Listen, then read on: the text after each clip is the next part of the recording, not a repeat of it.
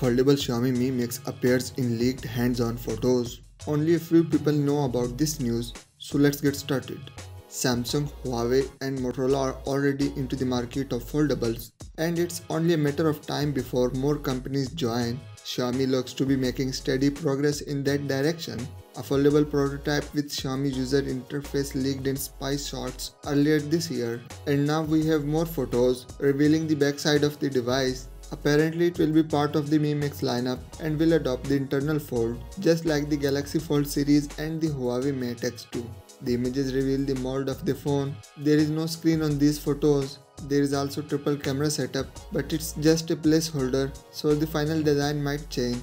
What won't change is the horizontal alignment of the shooters. We are really surprised to see the Mix logo back in the wild because the last phone from that family that ever made it to the store shelves was the Mi Mix 3 over 2 years ago. We are unsure of the state of the unit pictured, but if it's ready to be taken out in the wild then it's probably nearing the end of its development. The image can only tell us this device runs MIUI 12 and we can also read it has 256 gigs internal storage. Also there is no selfie camera to be seen, not on the top or bottom or any corners. The power key and the volume rocker are on the right side when the device is unfolded and that's pretty much everything we know about it. This is not the first time we hear about Xiaomi planning to go into the direction of foldables.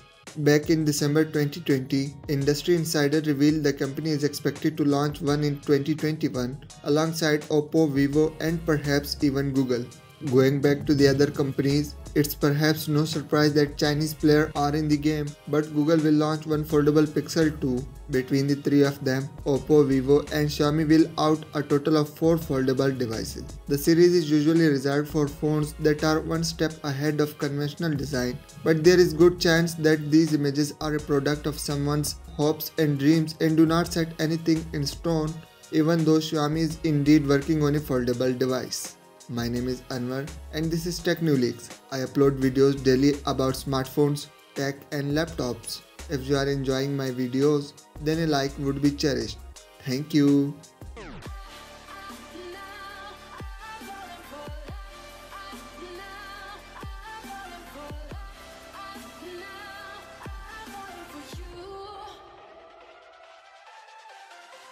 and I'm losing my